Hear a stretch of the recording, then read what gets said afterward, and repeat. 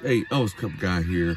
Quick video. I've got a few mystery photographs that I would like help once again identifying the exact date and venue they were taken in.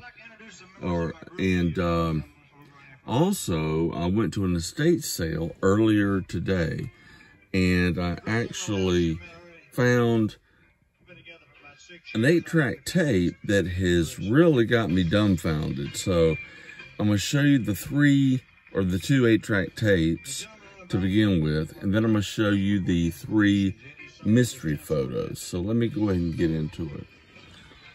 So what I found here is an eight track tape, Elvis 1969 year in review, Elvis Presley, the Memphis record. Now what struck me about this particular eight track tape is the fact that I had no idea, I'll show you here, I had no idea they were still making eight track tapes in 1987. And I think you had to get them like mail order only or record club only. They didn't sell them in the store because by 87, they were already selling CDs. So just think, this thing was made in 1987 and you could get it on actually four formats. LP or album. You could get it on CD. You could get it on cassette.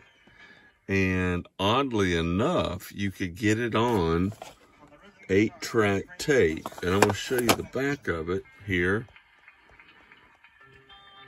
Let's see, it'll focus in. You see right there, 1987 BMG Music.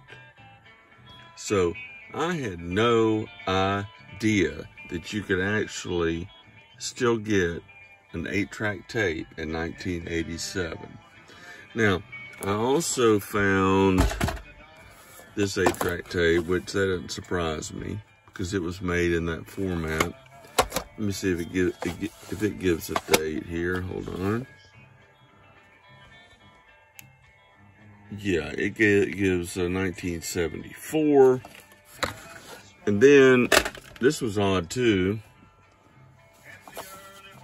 I'm a big Dwight Yoakam fan, but I never knew there was any or were any Dwight Yoakam eight track tapes that were made but obviously there uh, there were. Here's Dwight Yoakam, Hillbilly Deluxe.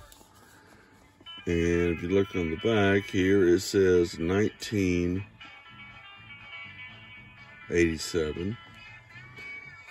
And then, as a little bonus, I'll try to cover this up. Redd Foxx, my gosh, interesting uh, eight track tape here. But anyway, like I said, I'm going to get right into the mystery Elvis photos now. I would like everyone's help if they could. Let me know when they think these were taken. Obviously, it's 75. Was it Asheville, 75? I don't think, it, well, it couldn't be Charlotte because Elvis wasn't in Charlotte, North Carolina in 1975. He was here in 74.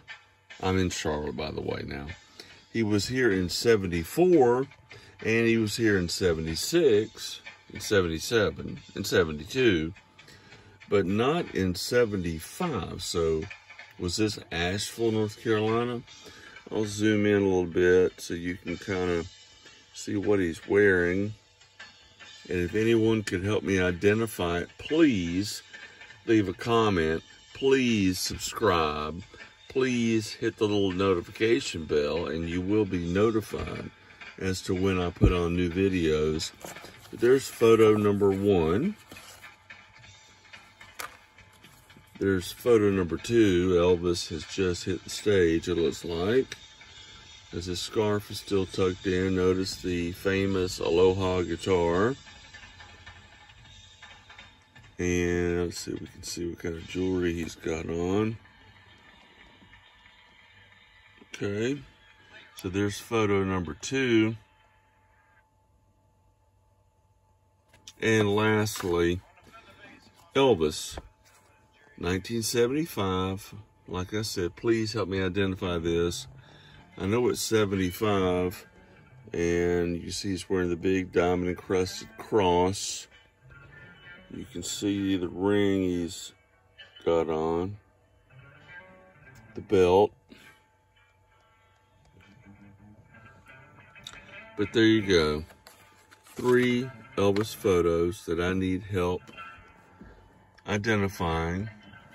And like I said, cool eight track tape that I did not know was still being produced in 1987.